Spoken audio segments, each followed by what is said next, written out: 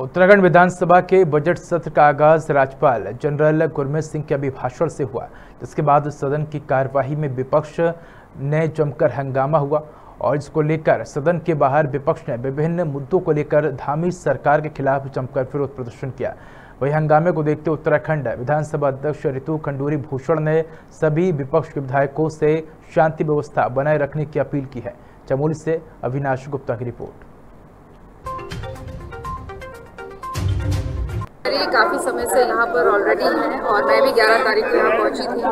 और पूरी सदन को देखा मैंने सारी बिल्डिंगें देखी और हमारी पूरी तैयारी चुस्त दुरुस्त है।